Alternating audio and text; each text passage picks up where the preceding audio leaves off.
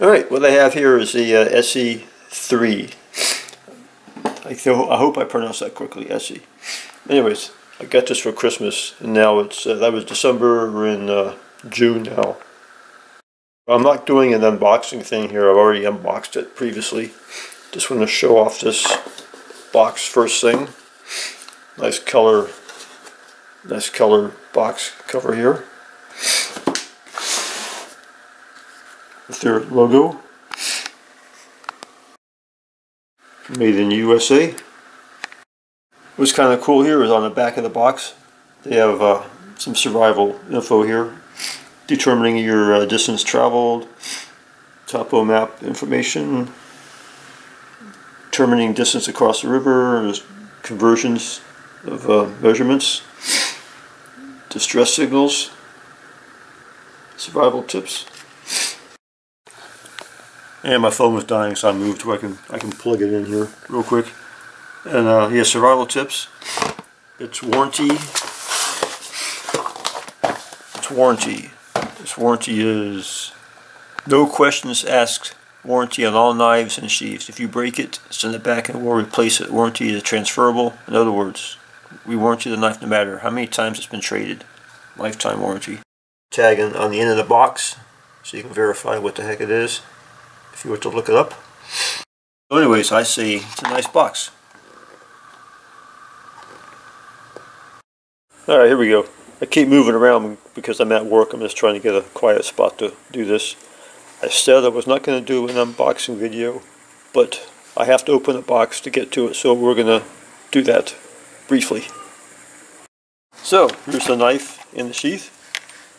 Inside the box comes this card, a decal.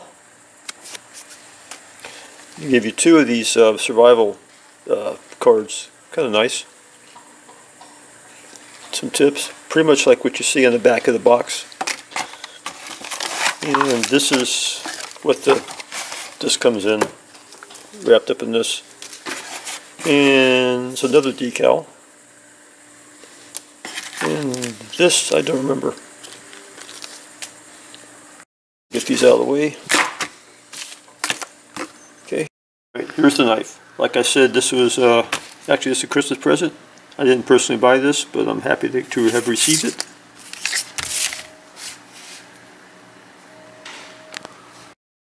Knife itself.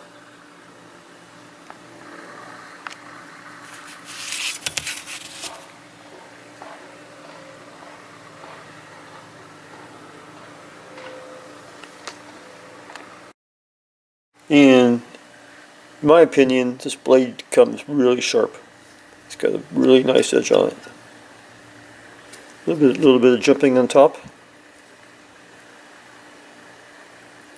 Scales here are actually a textured uh, G10 uh, material.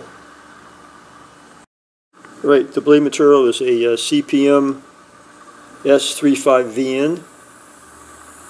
So this uh, blade material is supposed to give it a better uh, edge retention and uh, more uh, more corrosion resistance over the 1095 steel. Alright, on to the sheath. It's a uh, pretty decent looking sheath. It's I'm not sure what it's made of. I should know that, but I don't know. It's like it's just a plastic. I don't think it's it's not Kydex for sure. So the belt clip on the back is uh, directional. You can take it off and change it to go this direction. And your belt this way or your belt this way. And this blade snaps in there pretty tight. Definitely excellent retention. It ain't coming out unless you pull it. Very excellent retention. There's a lanyard hole, and then you got this piece where you can be hammering on stuff. Maybe you can break glass or pound on something. I'm wondering how well your grip is on this when it's wet, so let's find out. I'm going to get it wet and check it out. Alright, I took it to the sink and let water run over it. It pretty much just flowed off like it was waterproof. And it's not slippery. I think it's a pretty good, pretty good feel. It's not slick from the water. Alright, there you go. The vertical position. No problem.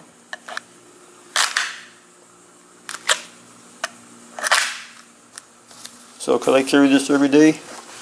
Look at that. No problem. So that's it. I'm not going to take this out and do uh, a test like chopping wood and all that kind of stuff. There's plenty of videos out there already that can do much better or show that much better than I can possibly do. I'd recommend it. It seems pretty well built. I like the way it feels. I'm sure it's going to hold up really good. Good coating on here for corrosion resistance. Out of the box, scary sharp. Highly recommended. If you feel it's been a beneficial video for you, uh, subscribe and like for more. Alright, take care.